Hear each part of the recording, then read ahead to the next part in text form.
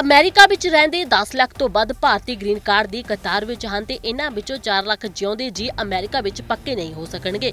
ਜਾਣਕਾਰੀ ਮੁਤਾਬਕ ਰੋਜ਼ਗਾਰ ਆਧਾਰਿਤ ਗ੍ਰੀਨ ਕਾਰਡ ਅਰਜ਼ੀਆਂ ਦਾ ਬੈਕਲੌਗ 18 ਲੱਖ ਤੱਕ ਪਹੁੰਚ ਗਿਆ ਅਤੇ ਇਹਨਾਂ ਵਿੱਚੋਂ 10 ਲੱਖ 50 ਹਜ਼ਾਰ ਅਰਜ਼ੀਆਂ ਭਾਰਤੀਆਂ ਨਾਲ ਸੰਬੰਧਿਤ ਨੇ। 2.5 ਲੱਖ ਅਰਜ਼ੀਆਂ ਚੀਨ ਅਤੇ ਬਾਕੀ ਹੋਰਨਾਂ ਮੁਲਕਾਂ ਨਾਲ ਸੰਬੰਧਿਤ ਦੱਸੀਆਂ ਜਾ ਰਹੀਆਂ ਨੇ। ਰੋਜ਼ਗਾਰ ਆਧਾਰਿਤ ਗ੍ਰੀਨ ਕਾਰਡ ਦੇ ਮਾਮਲੇ 'ਚ ਹਰ ਮੁਲਕ ਨੂੰ ਸਾਲਾਨਾ 7% ਕੋਟਾ ਮਿਲਦਾ ਹੈ ਤੇ ਭਾਰਤੀ ਨਾਗਰਿਕਾਂ ਦੀਆਂ 10 ਲੱਖ ਤੋਂ ਵੱਧ ਅਰਜ਼ੀਆਂ ਦਾ ਨਿਪਟਾਰਾ ਕਰਨ ਵਿੱਚ ਕਈ ਦਹਾਕੇ ਲੱਗ ਸਕਦੇ ਨੇ। ਦੱਸਦੇ ਕਿ ਨਵੇਂ ਆ ਰਹੇ ਬਿਨੇਕਾਰਾਂ ਨੂੰ ਪੂਰੀ ਜ਼ਿੰਦਗੀ ਉਡੀਕ ਕਰਨੀ ਹੋਵੇਗੀ, ਇਸ ਤੋਂ ਬਾਅਦ ਵੀ ਕੋਈ ਉਮੀਦ ਨਜ਼ਰ ਨਹੀਂ ਆਉਂਦੀ। ਟੈਟੂ ਇੰਸਟੀਚਿਊਟ ਦੇ ਡੇਵਿਡ ਜੇ ਬੀ ਆਰ ਵੱਲੋਂ ਕੀਤੇ ਅਧਿਐਨ ਮੁਤਾਬਕ ਲੱਖਾਂ ਭਾਰਤੀਆਂ ਦਾ ਅਮਰੀਕਾ ਵਿੱਚ ਪੱਕਾ ਹੋਣ ਦਾ ਸੁਪਨਾ ਮੌਜੂਦ ਹਾਲਾਤਾਂ ਵਿੱਚ ਪੂਰਾ ਹੋਣਾ ਸੰਭਵ ਨਹੀਂ ਹੈ। ਨਾਲ ਹੀ ਦੱਸਦੇ ਕਿ ਰੋਜ਼ਗਾਰ ਆਧਾਰਿਤ ਗ੍ਰੀਨ ਕਾਰਡ ਦੀ ਪ੍ਰਕਿਰਿਆ ਉਸ ਵੇਲੇ ਸ਼ੁਰੂ ਹੁੰਦੀ ਹੈ, ਜਦੋਂ ਇੱਕ EMPLOYER ਆਪਣੇ ਮੁਲਾਜ਼ਮਾਂ ਵਾਸਤੇ ਪਟੀਸ਼ਨ ਦਾਖਲ ਕਰਦਾ ਹੈ।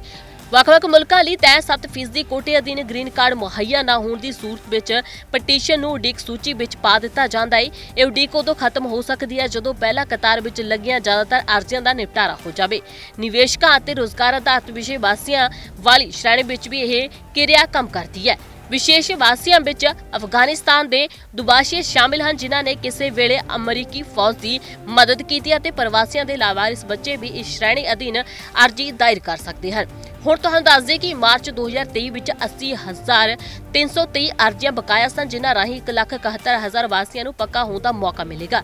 ਦੂਜੇ ਪਾਸੇ 13 ਲੱਖ ਅਰਜ਼ੀਆਂ ਉਡੀਕ ਸੂਚੀ 'ਚ ਨੇ। ਅਧਿਐਨ ਮੁਤਾਬਕ ਪਰਮਾਨੈਂਟ ਲੇਬਰ ਸਰਟੀਫਿਕੇਸ਼ਨ ਨਾਲ ਸੰਬੰਧਿਤ 123000 ਅਰਜ਼ੀਆਂ ਦਾ ਬੈਕਲੌਗ ਵੀ ਮੌਜੂਦ ਹੈ, ਜੋ ਰੋਜ਼ਗਾਰ ਆਧਾਰਿਤ ਗ੍ਰੀਨ ਕਾਰਡ ਲਈ ਬਣਨ ਵਾਲੀ ਕਤਾਰ ਦਾ ਪਹਿਲਾ ਪੜਾਅ ਮੰਨਿਆ ਜਾਂਦਾ ਹੈ।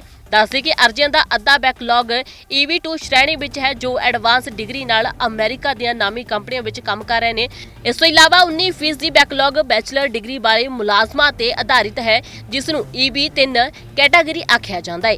EB4 ਕੈਟਾਗਰੀ ਵਿਸ਼ੇਸ਼ ਪ੍ਰਵਾਸੀਆਂ ਤੇ ਆਧਾਰਿਤ ਤੇ ਬੈਕਲੌਗ ਦੀਆਂ ਕੁਝ ਅਰਜ਼ੀਆਂ ਦਾ 13% ਦੀ ਇਹਨਾਂ ਨਾਲ ਸੰਬੰਧਿਤ ਹੈ। ਨਿਵੇਸ਼ਕਾਂ ਤੇ ਆਧਾਰਿਤ EV5 ਕੈਟਾਗਰੀਆਂ ਦੀਆਂ 6% ਦੀ ਅਰਜ਼ੀਆਂ ਬੈਕਲੌਗ ਵਿੱਚ ਸ਼ਾਮਿਲ ਦੱਸੀਆਂ ਜਾ ਰਹੀਆਂ ਨੇ।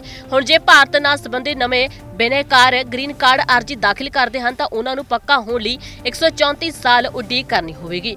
ਚੀਨੀਆਂ ਦੇ ਮਾਮਲੇ ਵਿੱਚ ਗ੍ਰੀਨ ਕਾਰਡ ਦਾ ਉਡੀਕ ਸਮਾਂ 17 ਸਾਲ ਬਣਦਾ ਹੈ, ਜਦਕਿ ਜਦਕਿ ਅਲ ਸਲਵਾਡੋਰ ਹੁਡੂਰਾਸ ਅਤੇ ਗੁਆਟੇਮਾਲਾ ਦੇ ਨਾਗਰਿਕਾਂ ਨੂੰ ਵੀ ਕਈ ਕਈ ਸਾਲ ਉਡੀਕ ਕਰਨੀ ਪੈ ਰਹੀ ਹੈ। ਪ੍ਰਵਾਸੀਆਂ ਦੇ ਹੱਕਾਂ ਲਈ ਆਵਾਜ਼ ਬੁਲੰਦ ਕਰਨ ਵਾਲੀਆਂ ਜਥੇਬੰਦੀਆਂ ਵੱਲੋਂ ਬਾਈਡਨ ਸਰਕਾਰ ਨੂੰ ਅਪੀਲ ਕੀਤੀ ਗਈ ਹੈ ਕਿ ਮੁਲਕ ਆਧਾਰਿਤ ਛੋਟਾ ਸਿਸਟਮ ਖਤਮ ਕਰਦਿਆਂ ਪਹਿਲਾਂ ਆਓ, ਪਹਿਲਾਂ ਪਾਓ, ਨਿਯਮ ਲਾਗੂ ਕੀਤਾ ਜਾਵੇਗਾ। ਫਿਰ ਰਿਪੋਰਟ।